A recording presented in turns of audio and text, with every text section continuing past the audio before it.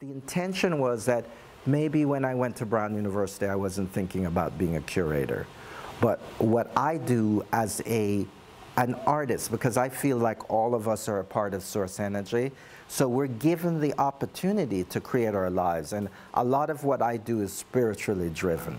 If the Spirit tells me I need to do something, I'm going to do it, because I'm looking for maximum enchantment you know what I mean? If, I, if I'm going to, Spirit tells me, go to Rome, I, my, the first show I did, I got involved in the art business because I was helping a friend from New York, African American friend, who wanted to get into the European market. And because I'd gone to school in Italy, I was able to go back to my old school and say, hey, I know you have empty walls, can we stage a show here?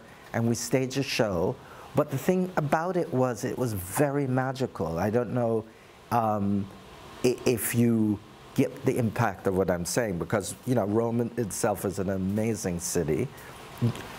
Now Africans were always a part of the Roman Empire, and it is also said that the Etruscans were black people, right? That started Rome.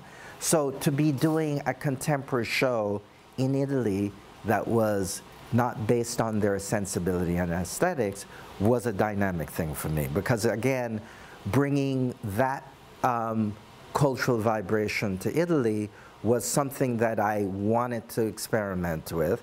And I know already that the Italians love black culture. I mean, if you look at opera, right?